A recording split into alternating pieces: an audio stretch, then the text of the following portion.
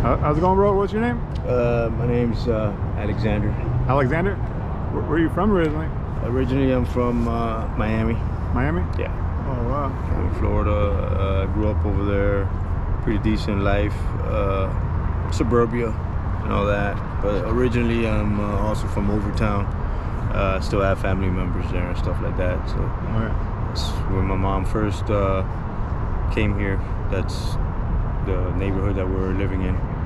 So um, she got my biological father ended up, I don't know, going to prison, and then uh, my stepfather got with her, and you know they got married, and then she relocated to another spot, and Kendall and stuff like that. So yeah, it's So, so what, they got a divorce, huh? uh, not a, uh, what my uh, biological and all Your that. parents, yeah. Nah, they weren't really like. I don't think they got. Uh, they got married technically. I don't know. I don't know if they got married or not. I don't think they did. Uh, but she did get married to my stepfather, so that seemed to have worked out for them and stuff like that. So you grew up with a stepfather? Yeah. How was that? Um, at first it was rough. I mean, you know, I understand. You know, um, now that I'm a man and all that, and I've been uh, with an ex ex ex girlfriend that she had like kids of her own that weren't mine. I kind of understand how he looked at me like, oh, there's somebody else's kid and stuff like that. You know, that's how you look at it at first. But then the kids grow on to you, and you know, you give them love, and and you uh, basically look at them as your own, and. Um, I didn't understand that at first, you know, until you like mature and you grow up and you realize, okay, you know, it's this is what he probably went through, and so I understand him now, and uh, you know, that's pretty much it. I mean, it was uh, it was a decent home. Uh, yeah, he couldn't you couldn't do it, break the rules, that's for sure, because he ruled he ruled the house with an iron fist, that's for sure. Oh, wow. but he was a good father. I mean. he ever whooped or beat you or something? Oh, constantly. Constantly yeah, I mean, but I'm hard headed. Like, I, I deserved it a lot of times because uh, I'm hard to deal with. I'm hard headed, so I admit that. Uh, but all, all in all, he was, you know, I had a decent life. I had a decent life. You uh, graduate high school? Uh, I got kicked out in the 10th grade. I was supposed to. Uh, I ended up going to Job Corps Center, and uh, that went pretty pretty well actually. And uh, I completed everything, came back, got back ahead of time, so I, I didn't know that he wanted me to stay there a little longer.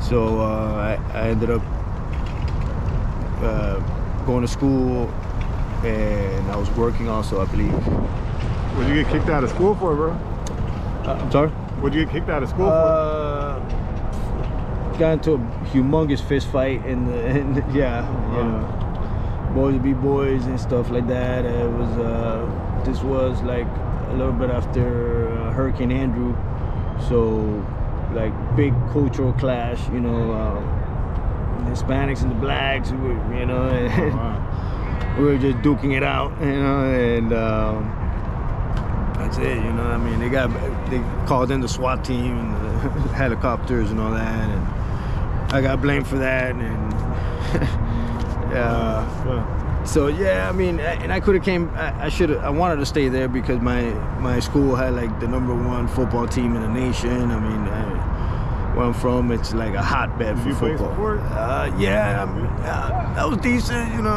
a little wrestling, oh, yeah. a little uh, wrestle a little bit, uh, track and field here and there. You know, but ah, I was a slacker. I admit it. uh, What'd you do after Job Corps, man? after Job Corps, I just got a. Uh, I ended up getting a job at a factory. I think I was welding. We were like welding dumpsters for the city, and uh, it was a decent job and stuff. Not a job that I loved or anything. You know, a job's a job, but uh, it, it was a. It was decent. It was decent pay. Uh, I was on my own. I had my own place. I was only 19 at the time, and uh, that's pretty much it. But I, I've always been like, I can't stay indoors that long. Like I would like just stare at the wall for a while, and then up and out. So What what'd you do after that? uh, after that, I believe I ended up uh, I ended up working at a office, if I'm not I'm not mistaken. I ended up uh, doing sales and stuff like that, and it went pretty well. I was there for like about three, almost four years, until I guess my bosses were doing some stuff that they got in trouble for, and like the marshals came and they closed down the company and yeah it was like boiler room i don't know if you ever seen that that movie uh, yeah they were like selling we were sh- selling insurance program uh, packages and stuff like that I, I, my bosses were making a killing i don't know but they, they were riding they were living good it, it looked like because they they had the big cars and the houses and all that I, I just lived a regular life and stuff so i had a saturn and shit but uh you know, it was good. It was decent. A lot of chicks there. Nailed half of them in the office. But uh, everything went well. And then, um, then after that, everything went down downhill because I got in trouble. So I had to had end up going uh, do a little bit of time for. Uh, uh, I think it was. It wasn't even I don't remember. I think it was a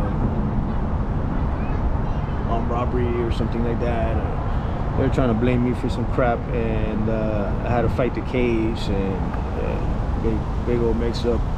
Uh, when I got out, uh, I met, you know, my ex XXX, and um, she had, you know, she's the one that I was telling you about. That she had three kids and all that. So I ended up uh, hooking up with her pen pals actually that's how i met her first mainly through the letters and then uh, finally met her face to face things went all right and uh, i ended up getting a job i believe at a window factory uh, doing installation for windows and stuff like that and, and from there i think my next job was uh, aviation i got blessed with that and i ended up working in on airplanes, landing gear equipment and stuff like that for a couple of years. That was pretty good. Uh, but again, I got myself in some trouble, so I had to take a, uh, a layoff because I was going to jail, and um, it's like that, yeah, basically. So how did you become homeless, man? Uh, just uh, uh, job availability. Um, it was very hard in Florida. Florida was like basically no jobs. I mean, it's a you know they rely a lot on tourism. It's not like up north that you know we're a little bit more industrial up here and stuff compared to them. And uh, it just it, it, was tough, you know. Uh, again, I got myself in some jams, so I ended up doing. Uh, I think I was on probation. I violated, so they uh, took me in.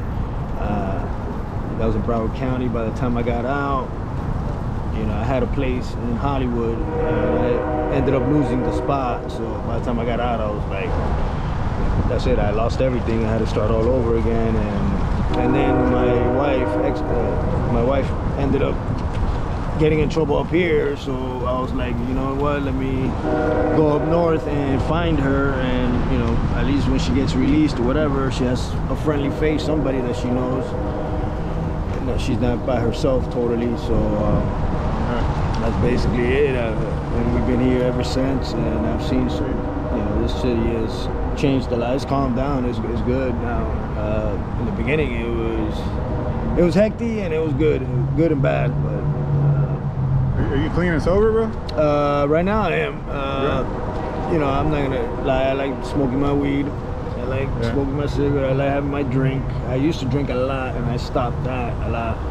Uh, the meth is that's probably the worst thing that I do, and that I've even slowed down on that also because uh, when I first got here, I didn't know about it. I didn't grow up around the meth. You know, up, uh, down south they, they don't they don't have that. You know, over there it's cocaine and stuff like that, and uh, the meth kind of like opened up I don't know, a third eye type of thing. I wasn't a big spiritual guy, you know. I was like everybody else, just trying to make a living, uh, you know.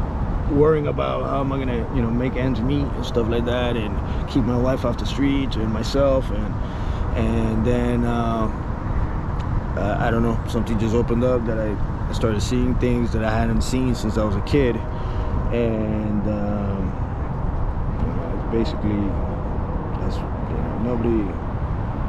I don't know. yeah, like I tell her some of the things, and she'll be like, "Nah, that didn't happen. That's not true." I'm like, "I'm telling you, that's what happened." You got you any know? plans to get clean and sober? Oh yeah, yeah, Oh, yeah. cool. You know, uh, first thing is, uh, uh, you know, get get myself in a place, a shelter or something, and then yeah, a, little rehab. I mean, my, my rehab is is kind of different. Like me, it's just working out. That's the way I I get back. You know, everybody has their their ways that they get better or whatever. Me, just working out and it gets me back.